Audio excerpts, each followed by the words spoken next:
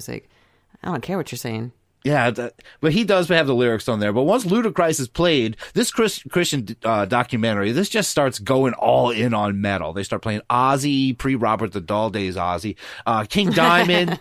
and, and here's the thing. Like I said before, imagine being a kid at this thing and you were introduced to just so much killer music as this thing go on. Like stuff that kids Right? in some like, Bible oh. study in the South or Midwest, they had no access to at all. And let's hear the segment on punk icon Lydia Lunch now.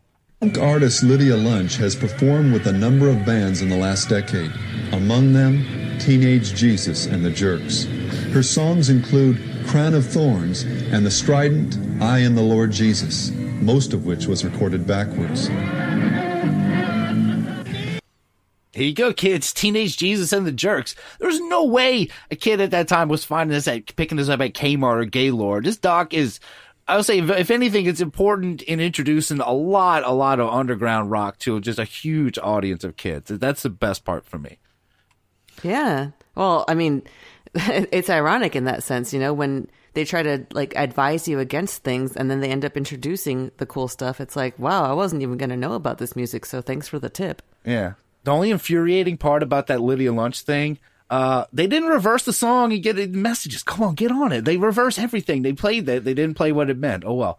But here's another deep cut that they get into. Have you guys ever heard of Spooky Tooth? No, what? What? No. Nope. Well, me neither. Let's hear about them. Moving on to Christ's sufferings on the cross, Spooky Tooth's album Ceremony depicts Jesus as some cosmic buffoon with his hand nailed into his head. Okay, that's what Spooky Tooth does. A cosmic buffoon. I don't know how they got there. It's just an image of a guy. It's a guy with like his hand nailed to his head. I guess it could be uh interpreted in some kind of Christly way. But cosmic buffoon. I'm like, where is he getting this? Who's I hope this somebody stuff? uses that as a sign off in others at some point. Oh, Cosmic cosmic buffoon. buffoon. Yeah. Boner yogurt. This is cosmic buffoon. Cosmic buffoon. Do a boner yogurt. You guys have met. he also talks about the band Blue Oyster Cult, just a favorite of everyone, mm. and they're used to them recently with the blue chicken cult. Yeah, Oh, blue yeah. oyster cult, blue chicken cult, but they they have a, they use a lot of satanic imagery, and he plays a song that has a hidden message. Now, guys, when you hear this blue oyster cult jam, listen for these listen for these squeaky voices over the guitar part. Just listen. No. Listen to a song off their Mirrors album.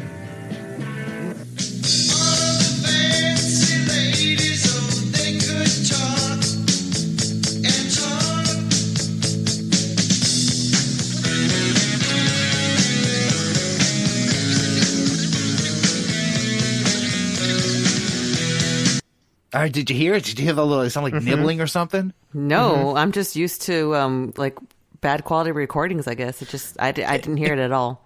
It kind of sounded like this was going on in the background. Essa versão. yes. Oh my god. Yeah. Good pull. Good pull. I totally missed it. Now he's going to slow it down, though. You're going to get to hear it. He's going to slow down that weird voice, and he's going to reveal the hidden message. Not too satanic on the surface, but now listen to the high pitched squeaky sound that occurred during the guitar lead, this time at a fraction of its regular speed.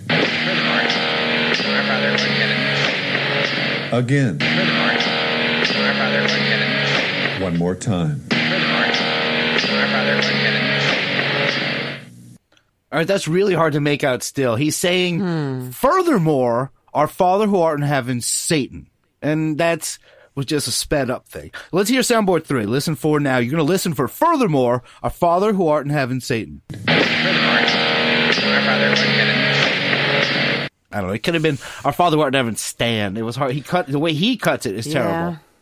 I don't understand how that's malicious or how that's like that's not going to affect anybody. Nobody can under even you can't understand what it is because it's all modified and and fucked Yeah. with. And it's This like, is- is, that supposed to subliminally Yeah, it's go into your BOC. brain? Make me want to go to church. They shoot lasers at you at shows and stuff. It's, So- so band is shooting things into your mind all the time. This is what Blue Oyster Cult does. So, they put but you're- sneaky stuff like this in there. So does he think that your brain is able to process it and transcribe whatever the hidden message is, and then that leaves such um impact in your brain that that's going to influence you? Because that's really that's I don't know. I don't. and I'm then not and, and it. then influence you to do Don't. what? You know, at this point, like what? Oh, he- what are they yeah, making like- me do here? you just worship lot. Satan, like oh, big deal. Well, you'll be in church and you'll be saying Soundboard 3. I still like all I can hear. It sounds like I'm at like some one of those uh, truck stops where there's like some kind of drive-through going on. People are reading out some order that you have to get. Like it's just like nonsense. it does. It does kind of sound like someone's at a drive-through with the music blasting really loud. and They're trying to You- order over their music. You can't really top that Wendy O. Williams. That is the clearest back backmasking I have ever heard. Clear, concise, to the point, getting it done. Love that one. Well, we're gonna hear another. Speaking of yeah, Wendy O. Williams being introduced to kids in a church basement. Here's a clip from another brand that I have never heard of. On this line, the group Scraping Fetus Off the Wheel sings,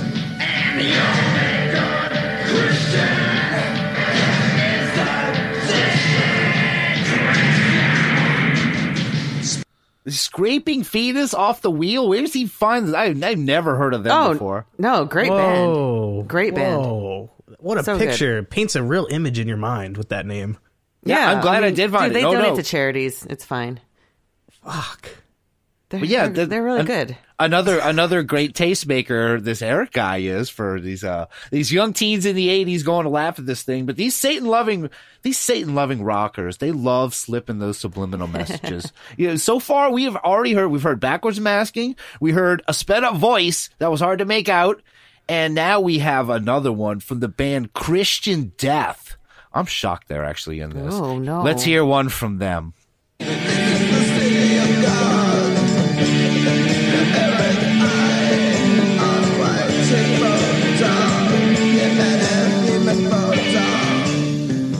The last two lines were written out and sung backwards. When you reverse the letters, you get, There is no city of God. Damn the name of God.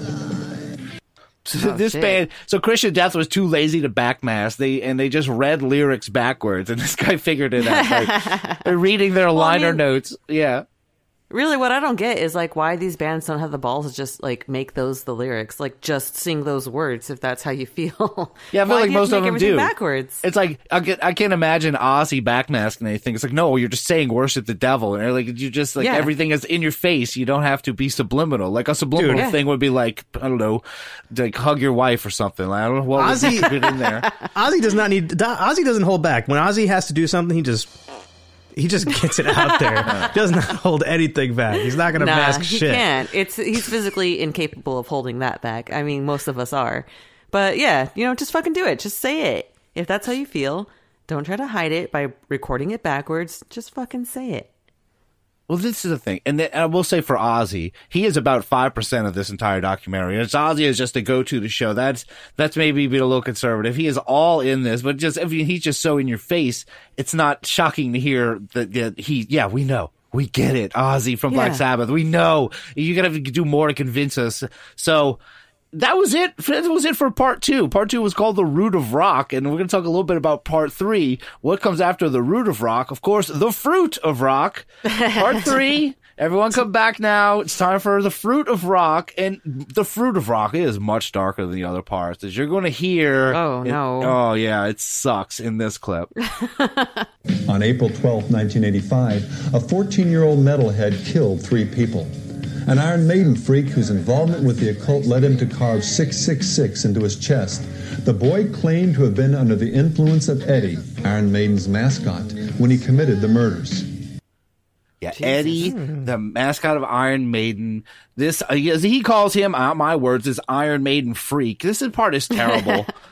Yeah, That's that seemed- That, that was like a dick move just to call him a freak for no reason. Like, I understand he he tried to kill somebody or he did kill somebody. he did. He did kill Um, somebody. yeah. but, uh, but come on, just because he likes Iron Maiden doesn't make him a freak. Maybe because he's a murderer. Maybe Yeah, that's call him an Iron Maiden murderer. Although He's a that would sound like fucking he murderer. murdered Iron Maiden. And when you have a kid like this doing this and saying, "Yeah, Eddie, Iron heavy metal made me do it," almost cannot blame Christians at all for going all out and doing this kind of thing. When, when if stuff like that happens, it's like, well, yeah, this if there's a natural reaction is to do something like this. I don't know. You know yeah, who he- this sucks. This part. You know who he reminded me of, kind of the Eddie thing. Eddie's like the original Slender Man. What?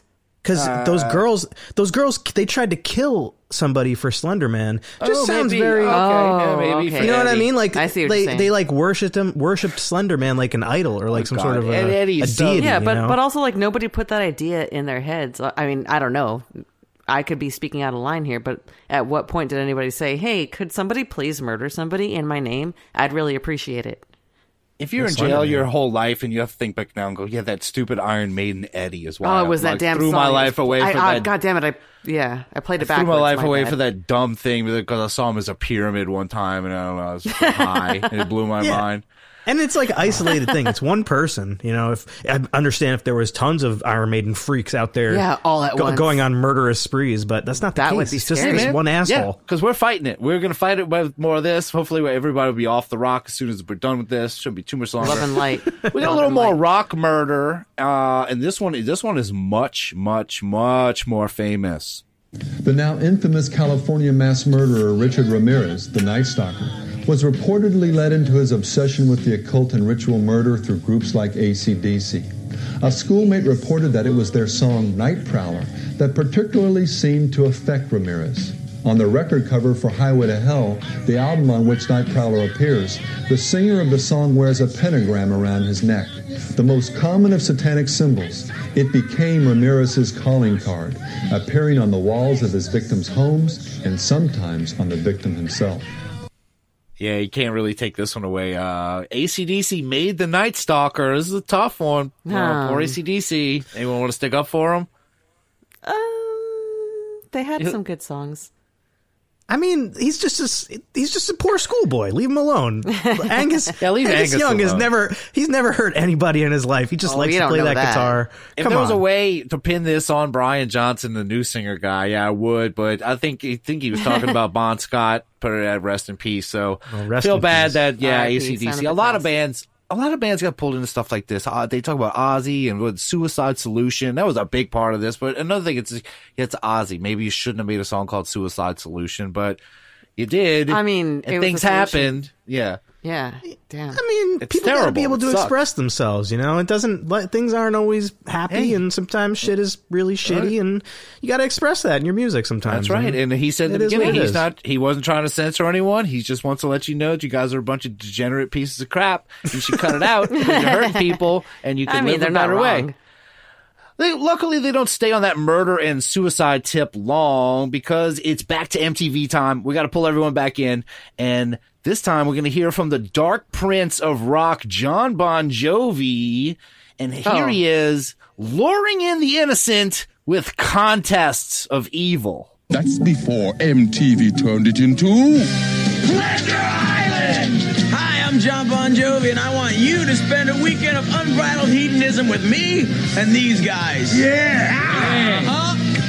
And by hedonism, do we mean you can do anything you please, no matter how wild, strange, or excessive? Hell yes! And Oh Yes. man, count me in. That sounds awesome. Hedonism. He's openly pushing for hedonism. And honestly, but is Bon Jovi, how wild are they really getting here? What do you think? I mean, Right. How tamely wild is this? Rob, It's- do you even listen we to did Bon Jovi? body shots one night. do, I- we do I it. even listen to Bon Jovi? You're asking me? Yeah. Um, of course, I listen to Bon Jovi all the time. Come on, what do I look That's like? what you do. Like that's what you do when you're seeking pleasure. I- Yeah, well, especially when I'm feeling extra satanic, I'll put on some Bon Jovi, and uh, I really uh, Honestly- light a couple candles. Honestly, Rob, a lot of this lines up with some of your hedonistic ways of life. I see it now. Because all this hedonism talk, it leads to drugs and rock and roll. Yeah. all Oh, no. Yeah, there you go. You guys love your drugs. Oh, not drugs. I hate So- drugs.